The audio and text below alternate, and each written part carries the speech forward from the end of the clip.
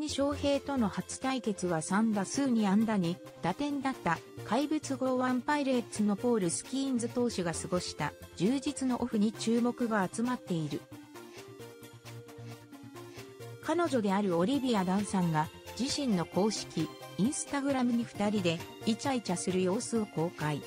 自然の中で過ごす休日にゴージャス、なんてラッキーな男だ、最高だね、最高にキュート、美しいなどの声がファンから上がっている。2023年のドラフト全体1位で入団したスキーンズは23日、日時間24日、4度コロチで行われたレーズ戦に先発。勝ち負けこそつかなかったが、7回6安打1失点の好投を披露していた。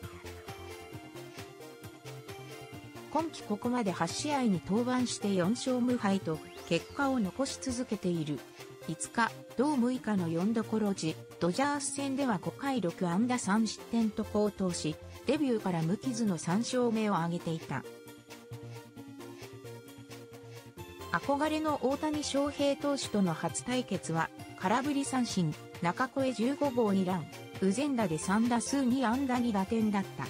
スキーンズの恋人、オリビア・ダンさんは、ルイジアナ州立大の体操選手で、インスタグラムで、フォロワー520万人、TikTok も800万人のフォロワーを誇る、インフルエンサーだ。